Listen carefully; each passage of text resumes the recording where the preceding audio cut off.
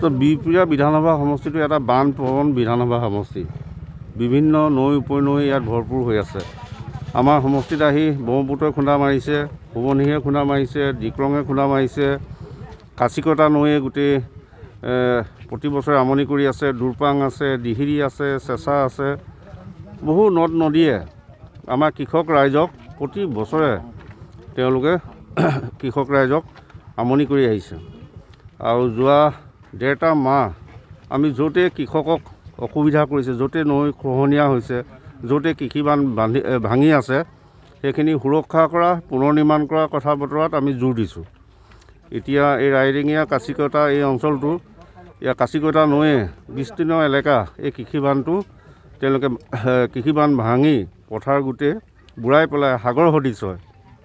সেই উপলব্ধিয়ে আমাৰ স্থানীয় যি নাৰায়ণপুৰ খণ্ড উন্নয়ন বিষয়াৰ কাৰ্যালয়ৰ তৰফৰ পৰা ৰাষ্ট্ৰীয় গ্ৰামীণ নিশ্চিত নিয়োগ আঁচনিৰ অধীনত এই কৃষিবানটো সবলীকৰণ কৰিবৰ বাবে এখন এক কোটি টকাৰ আঁচনি গ্ৰহণ কৰিছে। এই আঁচনিৰ নিৰ্মাণ কাৰ্য আজি শুভাৰম্ভ কৰা হৈছে। এই আঁচনিখন সঠিকভাৱে যাতে ৰূপায়ণ হয় দাঁতি কাষৰীয়া সকলো ৰাইজক চোকা নজৰ ৰাখিবৰ কাৰণে মই আহ্বান ৰাখিছোঁ।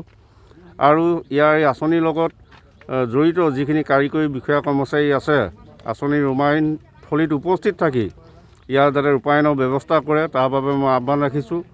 ৰাজহুৱা ধন যাতে কোনো অযথা কামত যাতে ব্যয় নহয় এই ক্ষেত্ৰত সকলোকে সচেষ্ট আৰু সজাগ হৈ থাকিবৰ কাৰণে আহ্বান ৰাখিছোঁ।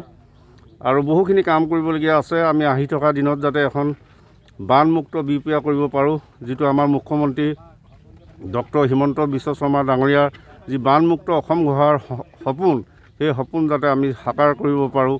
তাক গুৰুত্ব দি আহি থকা দিনত বি পি আৰ সমষ্টিক বানমুক্ত হিচাপে গঢ়িবৰ কাৰণে আমি সকলো ধৰণৰ প্ৰচেষ্টা ল'ম।